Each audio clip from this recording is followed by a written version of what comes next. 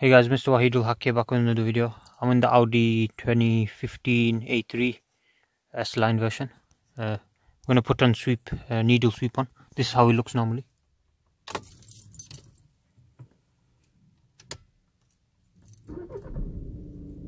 As you can see, it's very weak. Put the lights on.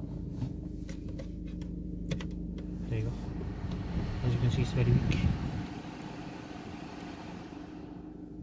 Right, so we're going to change that now. So what you want to do is get your OBD out, plug it into the port. You have to turn the lights on. For the OBD, you need the Pro version. Show you want to do the OBD port. What you turn it? Okay. Found it. Okay.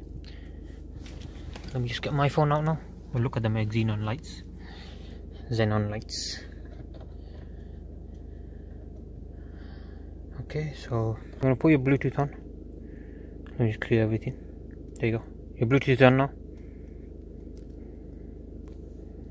Uh, now you want to go to OBDeleven. Is it plugged in? Oh my god. Alright, he's going to plug in now. So you, it's a purple port, you'll find it. And you want to plug in till it starts flashing, so it's working. Then you want to go to OBD app. Then you want to connect to it, which we'll be doing in a second. There you go. Right, can you see it's red now? Yeah. It's plugged in fully, I pushed in. Yeah. Okay, now I'm going to connect to it.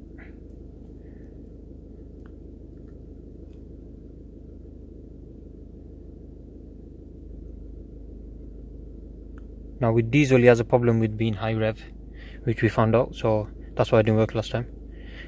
And then uh, figured it out on my uh, my friend's car, which was the Polo. You might have seen the video. Okay, we're connected now. Are you revving? Dude. Okay, we're connected now. So what you want to do is go to apps.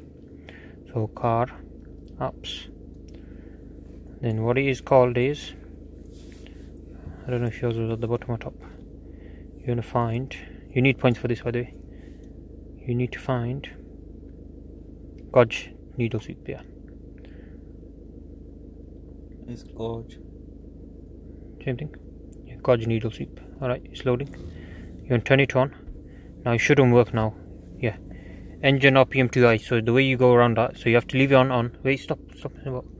Right, turn the key one down, one down. Leave leave that on. Yeah. Now you wanna hold it. Now it's success. And now uh, I think it should work now. Let's try. Fully turn on. Ready guys? Oh shit. Look at that guys. Do you see that guys? We'll do one more time just so you can have a look. Ready guys? Oh no, you have to take the key out. Every time you do you have to take the key out, so it's not like a new start. Fully take the key out. There you go guys. Look at that. Beautiful guys. Yeah, that's how you do it. Alright guys, thank you guys for watching. Please check out my channel. I'll do more of those stuff for you. And see you guys next time. Goodbye.